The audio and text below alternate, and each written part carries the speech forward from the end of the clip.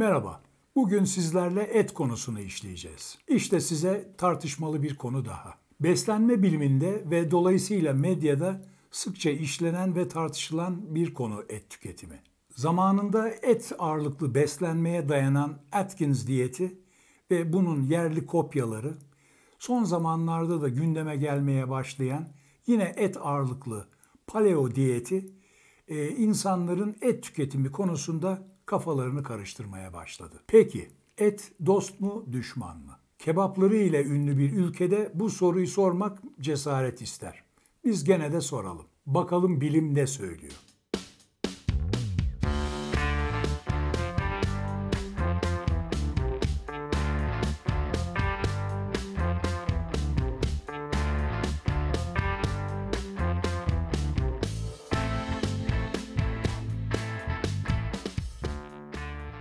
İnsanoğlu omnivor yani çoklu beslenen canlılar grubundandır. Yani bizler hem hayvansal hem bitkisel gıdaları yeme ve sindirme kabiliyetine sahibiz. Bu özellik bizim evrimsel başarımızın en önemli nedenlerinden biri. Diğeri de tabii ki zekamız. Koyun, keçi, at gibi canlılar herbivordur. Yani ot obur canlılardır. Bu canlılar sadece bitkisel gıdaları yeme ve sindirme kabiliyetine sahiptirler. Aslan, kaplan, kurt gibi canlılar ise et obur yani karnivordurlar. Bu canlılar sadece hayvansal gıdalarla beslenirler ve bunları sindirebilirler. Gerek ot obur gerekse et obur canlıların metabolizmaları bu tür bir beslenmeye adapte olmuşlardır. İnsanların çoklu beslenen yani omnivor grubuna dahil olduklarının e, kanıtı dişlerinde saklı. Et obur hayvanlar sadece kesici ve parçalayıcı dişlere sahipken ot oburların kesici ve öğütücü dişleri vardır. İnsanlarda ise kesici, parçalayıcı ve öğütücü dişlerin hepsi birlikte bulunur. Yani bizler hem hayvansal gıdaları hem bitkisel gıdaları yeme ve sindirme kabiliyetine sahibiz. Bundan şu çıkarımı yapabiliriz. Hayvansal gıdalar insanların doğal beslenmelerinin bir parçası. Hayvansal proteinler yenilip sindirildiğinde kana amino asitler olarak geçerler. Amino asitler bir enerji kaynağı değildir. Amino asitler hücre yapısında önemli görev görürler. Dokularımızın ve kemiklerimizin oluşmasında rol alırlar. Bunun ötesinde birçok hormon ve enzimin yapısında ve birçok biyokimyasal faaliyette çok önemli görev görürler. Yaklaşık 20 değişik cins amino asit var ancak bunlardan 9 tanesine esansiyel amino asit diyoruz. Yani bunların mutlaka gıdalarla alınması gerekiyor. Esansiyel amino asitler fenilalanin, valin, treonin, triptofan, metionin, lösin, izolösin, lizin ve histidindir. Hayvansal gıdalar bir protein kaynağı olmalarının yanı sıra sağlığımız ve metabolizmamız için çok önemli başka unsurlar da içerirler. Başta B12 vitamini olmak üzere kompleks B vitaminleri, demir, çinko ve selenyum içerirler. Çocukluk ve gençlik çağında yani büyüme ve gelişme çağlarında hayvansal proteinler çok önemlidir. Bir yaştan sonra yani büyüme ve gelişme çağı bittikten sonra hayvansal proteinlere olan ihtiyacımız dramatik bir şekilde azalmaktadır. Peki ne kadar protein tüketmeliyiz? Bilimsel kuruluşlar erişkin insanlarda kilogram başına 0.8 gram protein tüketilmesini önermektedirler. Hadi biz kebap ülkesiyiz, biraz torpil geçelim. Kilogram başına 1 gram diyelim. Buna göre 50 kilogramlık bir kadının günlük protein ihtiyacı 50 gram, 75 kilogramlık bir erkeğin de günlük protein ihtiyacı 75 gram olarak ortaya çıkıyor. Peki bu protein miktarı ne anlama geliyor? Çünkü protein eşittir et değil. 100 gram kırmızı ette yaklaşık 28 gram protein var. Yani 75 kilogramlık bir erkeğin günlük protein ihtiyacı 250 gram kırmızı etten karşılanabiliyor. Ama bu günde 250 gram et yiyebiliriz anlamına gelmiyor. Bu 250 gramlık protein hakkımız içinde diğer proteinli gıdalar yani yumurta, peynir, yoğurt gibi gıdalar da var. Eğer diyetimizde bunlar da varsa bunların protein hesabından düşülmesi gerekiyor. Örneğin bir yumurtada 15 gram, 100 gram yoğurtta 10 gram kadar protein var. Beyaz peynirin 100 gramında ise 15 gram kadar protein var. Ama durun daha bitmedi. Et severlere bir kötü haberim daha var. Bilimsel kuruluşlar protein ihtiyacımızın sadece yüzde 50'sini yani yarısını hayvansal kaynaklardan, diğer yüzde 50'sini de bitkisel kaynaklardan elde etmemiz gerektiğini söylüyor bize. Yani bunlar da brokoli gibi, e, mantar gibi, kuru yemişler gibi e, protein zengini gıdalardan gelmesi gerekiyor. Peki et niye tartışma konusu oluyor? Madem ki et bizim doğal beslenmemizin parçası ve madem ki etin birçok faydalı özelliği var, o halde bol bol yiyelim. Her zaman söylediğim gibi bir şey faydalı diye daha fazlası daha faydalı değil. Kaldı ki aşırı protein tüketiminde çok ciddi bazı zararları var. Gıdalarla aldığımız karbonhidrat fazlasının karaciğer tarafından glikojen ve yağ olarak depolandığını biliyoruz. Bu durum zamanla obezite ve şeker hastalığına yol açıyor. Aynı şekilde gıdalarla aldığımız fazla yağların karaciğerimizde ve dokularımızda yağ olarak biriktiğini, zamanla obeziteye ve şeker hastalığına katkıda bulunduğunu çok iyi biliyoruz. Peki proteinlerin sindirimi sonucunda oluşan amino asit fazlasına ne oluyor dersiniz? Metabolizmamızın ihtiyacının üzerinde oluşan amino asitler bir enerji kaynağı olarak kullanılamadığından ve de aynı şekilde depolanamadığından dolayı bunun bir şekilde dengelenmesi gerekiyor. İşte burada karaciğerimiz devreye giriyor.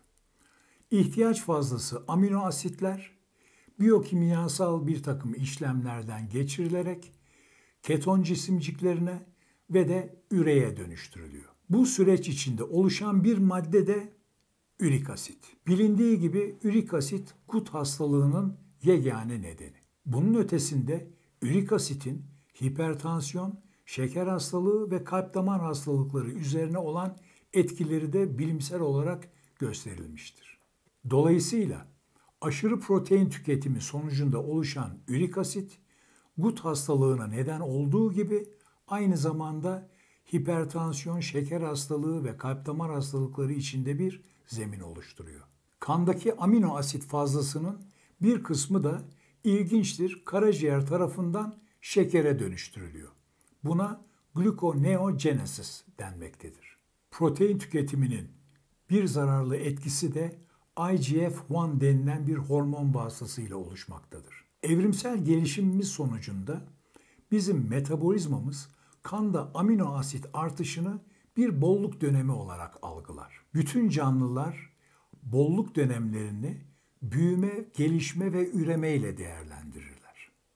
İşte bizim kanımızda amino asit düzeyi yükseldiği zaman karaciğerimizden IGF-1 denilen bir hormon salgılanmaya başlar. Bunun açılımı insulin-like growth factor'dır. Yani insüline benzer büyüme faktörü. Bu madde beyindeki büyüme hormonu ile birlikte çalışarak hücrelerimize büyüyün, gelişin, bölünün mesajı vermeye başlar. Eğer bizim büyüyecek bir tarafımız kalmamışsa ki 20-25 yaşından sonra kalmıyor, bu sefer bu mesaj hücrelere büyüyün, gelişin, bölünün, kanserleşin mesajı olarak gidiyor.